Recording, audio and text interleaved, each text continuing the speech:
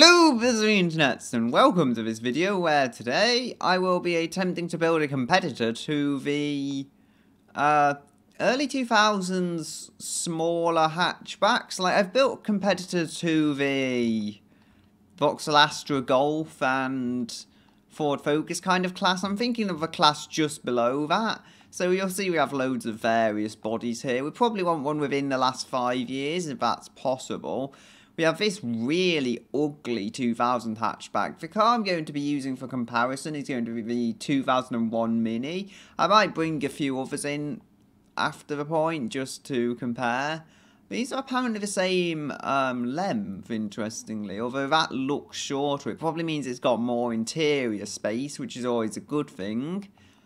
Now, we want, uh, we want panel material. I'd say partial aluminium sure, should be manageable for 2001 and keep weight down just a little without going all the way to making a full aluminium bodied car. I mean, there was the Audi A2, that was, a, I think, from, was A2?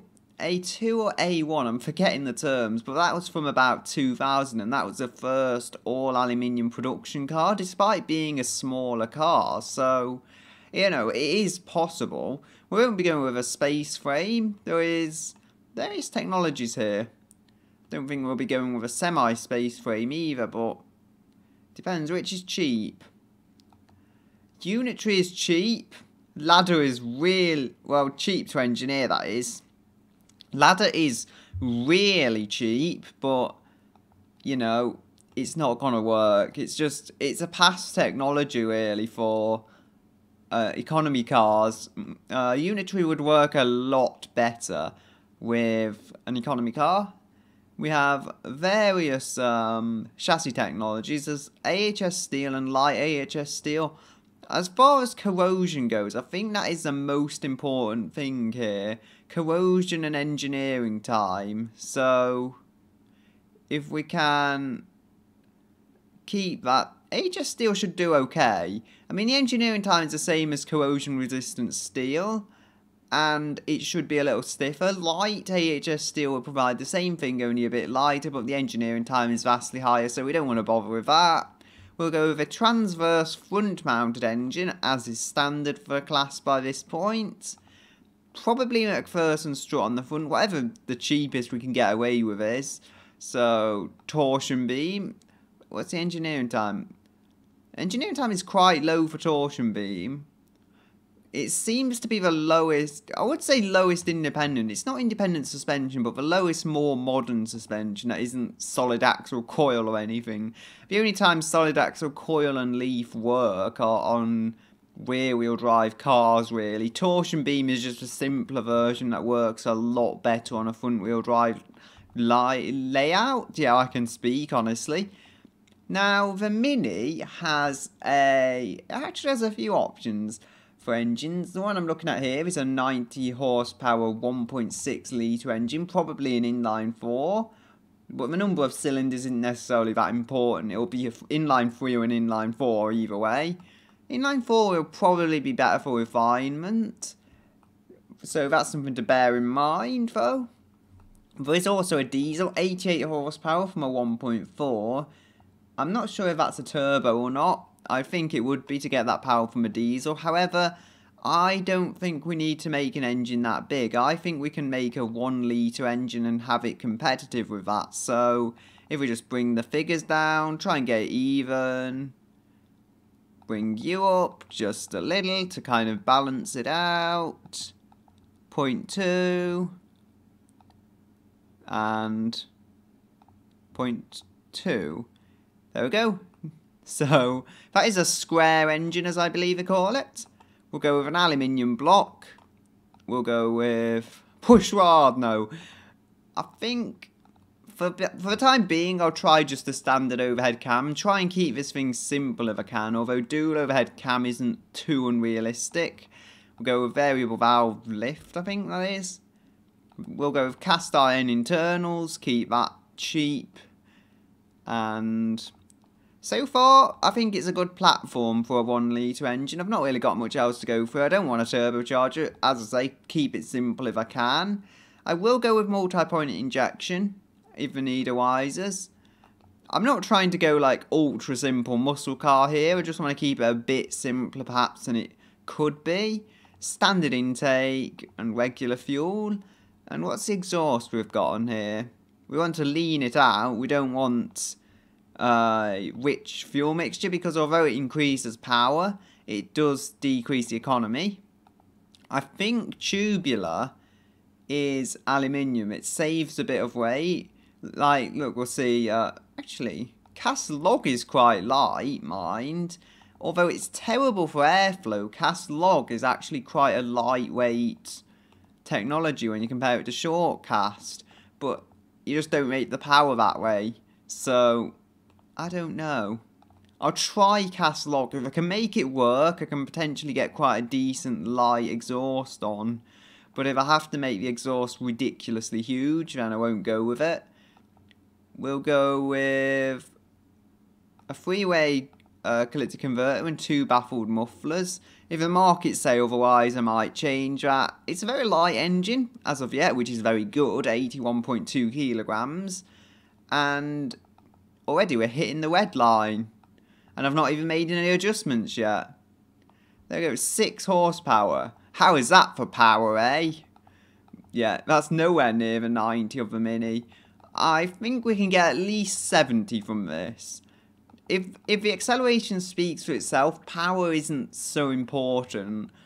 And in some ways, less power can even be better. But whoa, we can get a saloon of this? This is like a Prius. Like a first gen Prius. Which I kind of like. I mean, I say I say it shamelessly because of how weird the first generation Prius looks as like a tiny saloon, I actually kind of like it just for the weirdness, but I shouldn't, you know. I could, I, am thinking I could make this rear wheel drive and actually have really good weight balance now with that tail out there. But no, we want it to be a hatchback. We want it to be a more European car. We can go with the, uh, I think five door you would call that. Ooh, that's like a two door. that's a sports car version. So we have a lot of bodies. A lot of them. Whoa, that's more of a minivan. We don't want that. We don't want a minivan. We want it to be more of a car. We want it to appeal to younger people as well as older people. Older people would just go for practicality, I would assume, but the younger people, they would want it to look somewhat trendy as well. And 53 horsepower. Uh, lowering, yet lowering the exhaust can make more power. Yeah. That's what I meant, though. It would have been a good way to save engineering time and whatnot, but unfortunately it's just not going to work. And also repair and replacement costs, but it's not it's not going to work for me. So tubular it shall be. Long tubular, the difference is tiny, so I don't see much point in changing that. 38 uh, millimeter exhaust, although we could probably make that smaller hence perhaps cheaper if we get rid of the blow-off valves. Bypass valve, sorry. My mistake. So yeah, we can make the exhaust a little smaller. It's an economy car. We're not needing a large sporty exhaust on this. That exhaust still looks relatively large on it, although remember it's only a one litre engine, so that should be okay. Can can I take the block away? show you the basic internals, there we go. And we can get this thing started, hopefully. We're making 65 horsepower with just the initial tune. I'm quite happy with that. Ugh, let's hide it. It's going a bit funny and it's not showing the movement.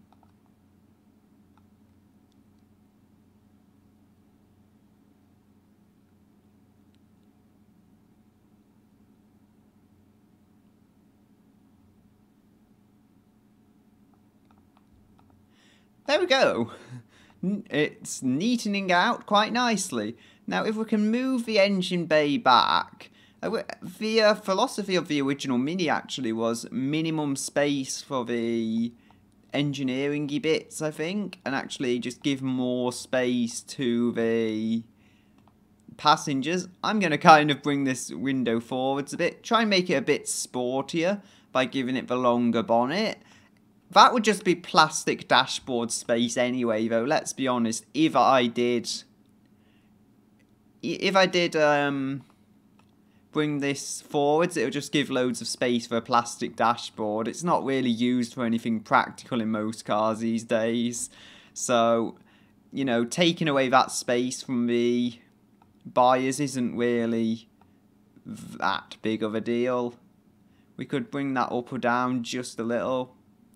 I think if we go this way, we can bring it into a bit more of a saloon. It looks kind of like a Citroen C3 now. But we can make it more of a saloon. Give it maybe more of a bench here in case people want to sit on it.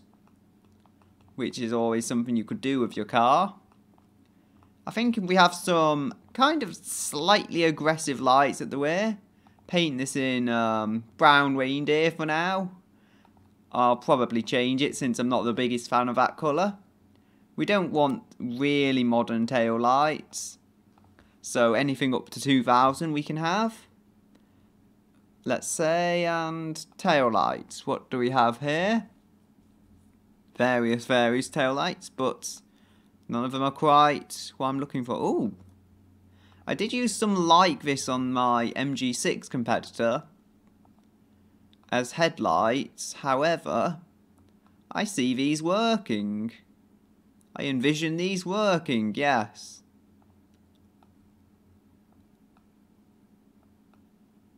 I don't know, um... Will you slot into there? Indeed you will. But I'm not a fan of that in the slightest. I'm not a fan of it. Shameless to say. Oh dear. Will you will you position yourself in a place where I can be happy with you? And where I cannot get angry at my PC anymore? Um I think we have problems. We could try moving and stuff, but unless I go with that one, which will kind of hide it. Yeah. Yeah, that hides the um, defects well, actually. As much as I don't like that colour on them, it does hide the defects. So for the time being, I'm going with that. We can go with a badge. I think we'll go with a standard automation one. As you do. Right there. You have a standard car. It's nothing special. Put this one here for now, although I may move it onto the grill I'm going to place. The grill I'm going to place is going to be in the grills. Ooh. Yes. I've had an idea, which I'll probably hate when, when I've done it, but I've had an idea. Yes, Italian design. It's Italian design, that's what I'm saying, even though it's not. It was designed by some designer. I guess everything's designed by a designer. So, my uh, monitor's a designer, even though it's just an average LG television. It's, it's, it's a designer television because a designer designed it. Yeah. These things are strange. Um, it's got no eyes. Uh, should I do a mini and just stick some round lights on it, or should I put something more sophisticated on it? I think I'll just do a mini. Not those ones, though, because I want kind of more sophisticated ones, if that makes sense. Like these ones, more modern looking headlights. Yeah, this looks like something from a what's it? It looks like something from an old Ridge Racer game. I'm sure there was one of the cars and it just looked like this. And then I could sneak some indicators in. Although I will say now I'm not a fan of how it looks. Um, I can't be a fan of my own art, but I, I just, it's just a bit goofy for me personally. It's not just the fact that I've created it. So, move this down. I mean, who would look at a mini and say, you know what, I'd rather have one of these weird things instead. Uh, I don't think anyone in their right mind, but still, I can hope. Indicator. yeah, to be honest, to be honest, with this class of car, it is probably like, you know what? I'll probably have one of these weird looking things instead. After all, the insurance is cheaper. Because insurance like these days is everything. Which kind of explains my uh, one litre engine decision, you know, because the insurance on one litre engines is going to be cheaper, naturally. So if I put a one litre engine in this, it gives it a better chance of having cheap insurance than if it was a 1.6 litre engine while still perhaps having the desirable power level. At least that's how it works out in my head. I've got my indicators there now, it looks even stranger. But let's go with it. I'll go with a lower grille. It's a bit upset. We need to flip this upside. We need to turn that frown upside down. Probably the best usage of that word I'm ever going to get, so... There we go. There we go, it's smiling now. It's smiling. And we can maybe have some fog lights down here as well. I like to kind of have the invisible bumper, if that makes sense. On a, on a modern car, I can't really explain it, but it's just like have a strip of nothingness where the bumper kind of is. And your eye fills it in. We'll go with maybe some of these down here. There we go.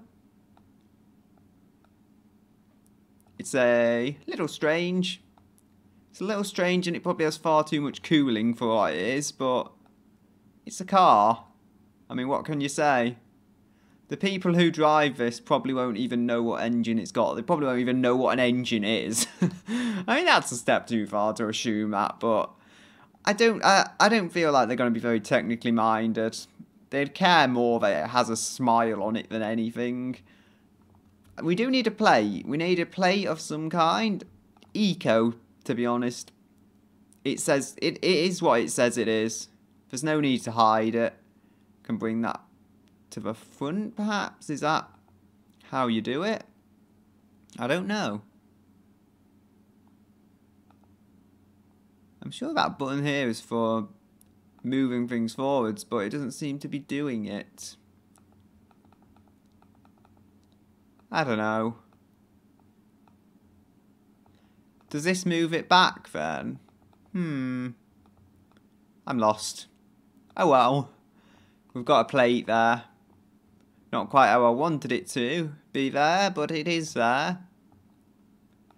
Eco, again. And we can have centre mounted exhausts. I feel that would look good and it would serve its purpose as well. It wouldn't be fake. There we go. So, kind of one wheel exhaust, but broken into two right there. Saves money over having a fake exhaust as well. At least in my head it does. Although I've just realised how stupid that sounds. We can have some tail light deflectors, hopefully. These doodads.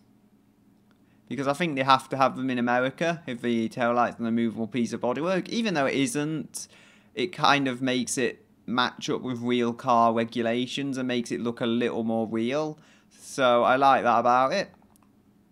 This looks like a Gran Turismo starter car now. it looks like you buy it as a weird uh, thing. It's a it's a combination of a Mini and a Citroen C3 in a way they should never have been together.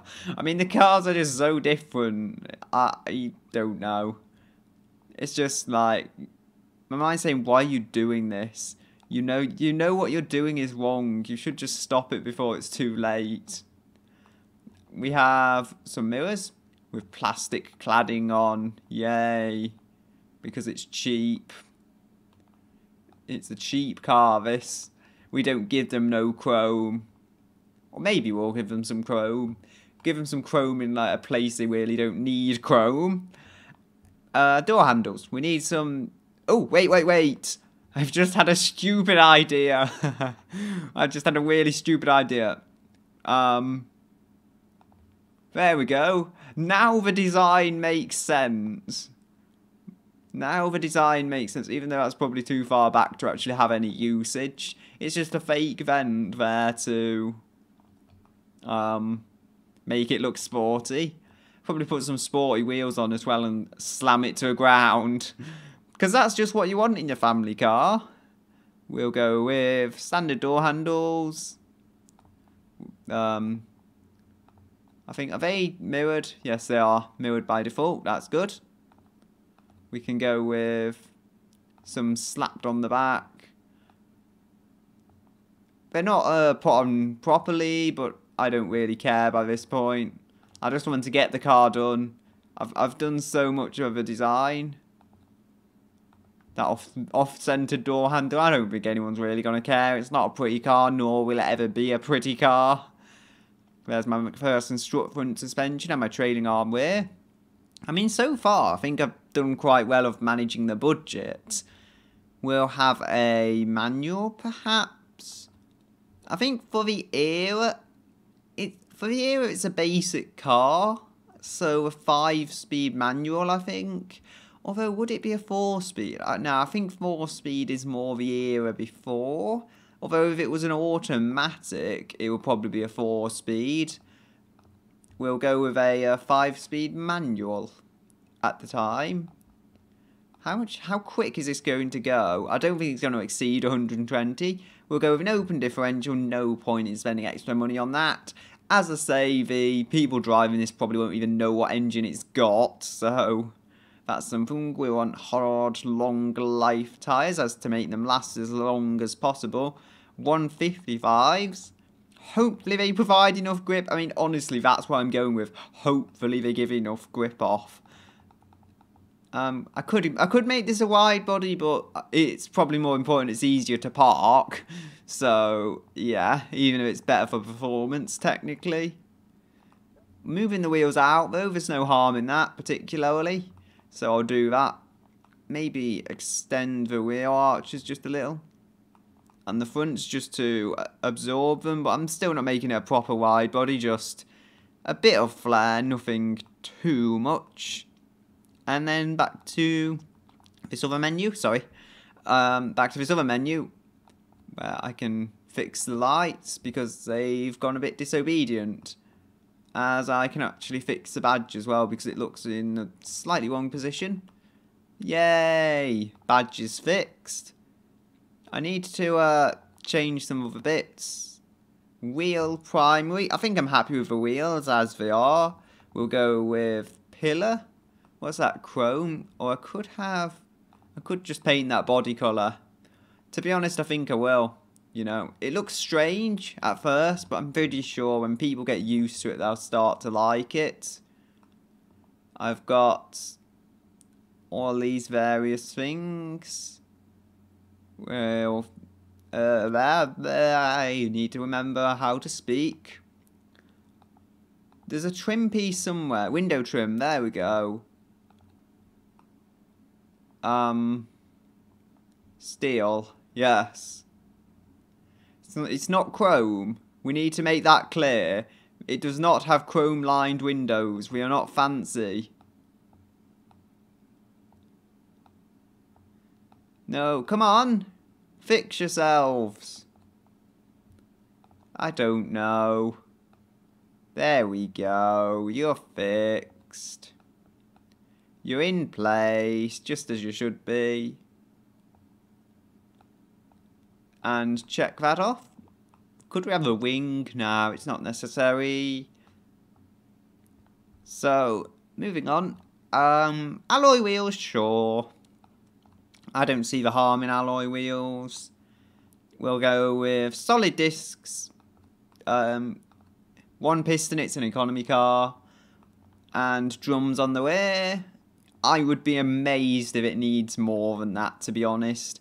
Well, maybe it needs two piston, but I would be amazed if it needs more than two piston solid discs on the front and drum brakes on the rear, because it's an economy car at its very uh, core. It's not going to be that heavy. It's not going to be that fast. It's not going to have any particular reason to need it. Is that an excuse to make it not sporty? No. Um, We'll go with a semi-clad under tray. Again, I'm trying to save a bit of money on engineering time while still making it built to a decent level. We've got a five-seater car here. We'll go with a standard interior, I think, with a basic cassette system. Really, basic cassette, basic CD is probably more on the era. Because you could get a CD. I think we're going for a slightly higher trim here. You know, you get a C, you get some extras. You get a CD player. You get a nice set of alloy wheels, but it's not a top spec, nor is it a lowest spec. I'll start off with no power steering. If it's under a ton or just over a ton, it shouldn't need any power steering. Although I could just go with normal hydraulic, to be honest. Engine, I don't know. I'll have to see how heavy it ends up. Because if it ends up like 800 kilos, I definitely won't need power steering at all. As much as it would be a convenience. Um, safety, we want advanced. Do we want advanced? I'd say standard 90s because, again, it's not a high end car. It's a good car for the class, but it's not ultra high end, so why should we spend the money on making it ultra high end? Hmm. This is where the compromising comes in though, because power steering would be useful, I think, even on a lighter car. However, there is engineering time associated with these things, so I think it's a good compromise to just have hydraulic and ABS. Should it need traction control and electronic stability control? Probably not. It's not a quick car, as I say. ABS, however, does have important usages, as does hydraulic power steering, so that's what I'm going with. Electric does exist as well. It's apparently more or less the same, but hydraulic's probably more proven by this stage in time. We have a lot of stuff around here. Um, I think gas monotube might improve the handling. Just slightly better dampers again, make it slightly better here and there. Normal, sport, comfort. Yeah, it just, it doesn't look good unless it's low. To be honest though, with that wide height, I'm not too shocked. The front brake force is low. Maybe you need to make the brakes slightly larger then? I don't know. The load capacity is low. Let's give it sport suspension. Yes, it's a sports car now. And the engine is underpowered. We need a more powerful engine. That is to be expected, actually. Ooh, yeah. The weight is very good. 973 kilograms. That should make for quite a neat sporty car, especially if we pile power onto it. It's like the Covet in BeamNG, only we have perhaps something safer. And all in all, I hope it does put the power down because those tyres are tiny and weak. Now, if we go back, or if we go back to the uh, gearbox, that was it. Can we see how quick it is now? We should be able to, with our 5-speed manual. It's not bad to 60 actually, for a 65 horsepower car, despite the game saying it's underpowered, I mean look, 14.3 seconds, it really doesn't seem too bad. Why of all categories it would put it into pony budget though. I don't know. It's a city car, okay? It's how is it? Like it says a muscle car, a big engine, rear wheel drive. I don't have any of those things on this side. Like how is it a muscle car? The engine isn't that big for the size of vehicle. It's a one litre in a vehicle that really is designed for a one litre, so it's not like I've gone with a particularly big engine or anything. Anyway, I do need to adjust everything here, so that's what I'll do, and I'll return when I have done it. Okay, so here we have an engine, which is quite engine bay filling, and you'll see it has a little, little turbo on it. It is also a 1600cc engine instead of a whatever tiny one it was before. That is because it's turbocharged, and I've tried to balance technology and overall performance and uh, economy. and it kind of worked. You'll see here I have my intercooler. I could probably have messed with that, but I didn't. We have can rev up to uh, 7800, but I've not used it quite that high. I think 7400 is where it wants to rev right now. We've got a standard inline 4. Yep, I wanted to make a 1 litre, but as it turns out it's the same engine size as a Mini. Now, looking at a few of the cars, though, we have got an extremely good result out of this. As you'll see, there's our car. We just move along to the transmission, which has been eventually a sequential 6-speed. Seems to be a good balance between manual and an advanced automatic, and the markets seem to like it. Yeah, it does 0 to 62 in 7 seconds. That is craziness for something that also has 47.5 miles per gallon. Now it is beaten just about by the Honda Jazz, which has 49 in its 1.4 guys. However, that only has 82 horsepower, that doesn't have 125, and I'm bringing up all kinds of menus on my PC. And there is a few other vehicles here. Sorry about that popping up there. We have the um, Mini I'm trying to beat. That makes 115 horsepower. And it only has uh, 42 miles per gallon. But if that's an old K series, that's to be expected. It won't have been the most cutting edge engine at the time. We have the Clio Sport 172 as well, I've bought up. Why have I bought this up? Despite being a much higher tier sports car? Well, this is what I've matched for acceleration, crazy as it sounds. I've actually matched a Clio Sport, although it's much closer to the Lupo GTI in terms of top speed. It's only uh, 2 miles per hour faster than that, so as what you would expect. Looking through these menus, you'll see everything is pretty much as I left it. Safety is now standard 90s. I did some changes. Now, I did notice actually, markets, they tend to like it when you throw this stuff on. Actually, variable hydraulic, it doesn't have that much engineering time increase, yet the markets really love it. They also, and it doesn't affect the uh, pricing too much. Same with electronic stability control, I guess you could say, though. I want to keep this car relatively simple. The engine is complex as it is. And yeah, for whatever reason, chucking that stuff right to the highest does give it really good market score. Or actually, it doesn't. Not in the case of both of them. Chucking it to variable hydraulic and ESC gives it a really good market score. However, I don't want to be going that complicated on the car. It is a simple car. I want to keep it simple well, as simple as I can realistically get it. We've got slightly better dampers and sway bars to help it corner. And I did fix the worst of the problems. It's still got minor problems, but there is most of them fixed there. 65% of the weight of the front almost, and it is able to tow over 1500 kilos, who would have thought? We're also able to load it with over 200 kilos. This is a utilitarian hot hatchback. I wasn't intending to make it the hot hatchback, but hey, so it is.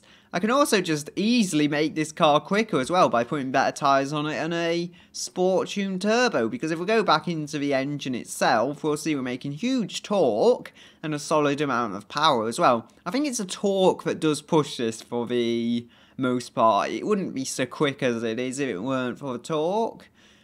But anyway, that uh, turbocharger, I did just stick uh, fuel economy on it for the time being and I tuned everything else around it and I put maybe a slightly bigger intercooler on it in order to make more power from the engine because for whatever reason having a over-engineered intercooler makes more power. I'm not sure the specific science behind it but it works so I won't complain. Now looking back here we still have torsion beam on the way and I've done that because, well, rear suspension doesn't really affect time, and why have I got that on my monitor? And the front suspension is what affects the time, so that's why I've basically spent out on the front and spent nothing on the rear, because as far as handling is concerned, that's where all the money should be. We can go back to the vehicle selector screen, but I don't want that right now. And I have called it the Sensible Motors egg, naturally, because it looks like an egg. We have a lot of cornering G's, I guess. I'm just guessing at this stage. We have a lot of lift. it wants to take off. It doesn't look like the ideal teardrop shape aerodynamically, but still, I think it looks sportier this way, so that's why I won't be making it like that. It just looks like a sporty Citroen C3 at this stage, I think. And I'm happy enough to go along with that. Also, I have four seats, not five. I was able to get that working. Although the markets, as I said, they can change their mind over what they actually like. So one moment it can be one thing, and then the next moment it can be the next thing. No, they seem to like a four-seater at the moment, though. Fully cloud under tray, and I have got vented discs on the front, but they're only two pistons, and they're slightly larger, but again, they're vented discs, so it kind of balances out in terms of weight.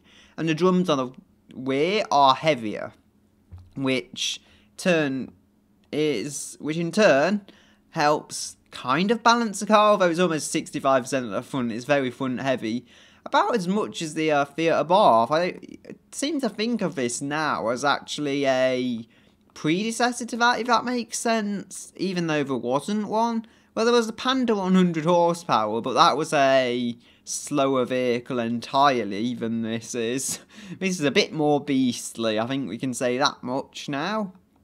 The fixtures and everything, they've been done. I could go into more detail on them, but I can't be bothered. It works.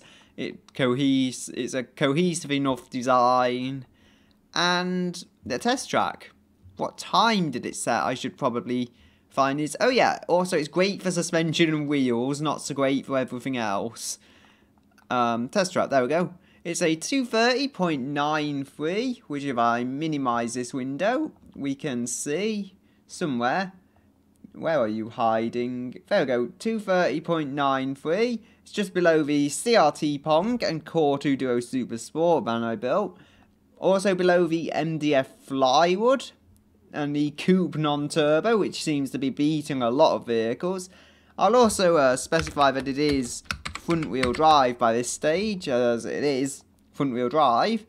And it is above by little over a second, the Board Fox speed. That was actually a 170 horsepower hot hatchback from the same era, I believe. So, for this to beat it, you know, in what's only supposed to be a warm hatchback, that is not bad in the slightest. We've also beaten the Country, which was a huge luxury 300-ish horsepower turbo land yacht Monster and his kids um, Sport MPV, which was rear wheel drive, I think that's what it is. And Benevolent Johnson. And the Tortoise Turbo, naturally. The Tortoise Turbo is a long way down on it. So, I think I done okay. Really, it's the car is the engine. If I just uncover it, if I find the uh, menu, the car is the engine the because beyond that, there's nothing really special about it. The the engine is what makes it special. I did also try it longitudinally, just in case anyone's wondering, and it did work. I think it did fit in the car, but it didn't make the car any better. It's better mounted transversely for the handling and the overall car as a package and that's why I've left it transversely mounted. Yay, transverse. Anyway, I'm going to leave it here. I think I've covered everything. Go on the markets briefly. Yeah, it fits into fun, kind of into fun budget, but no one wants to pay that much money for it. And family sport, it's a bit of that as well. It's not the most competitive car in the world, but hey, I tried. That's all I can say. But I'm going to leave it here for today, so I can hopefully remove the body, show you the chassis, and I'll say goodbye until another day.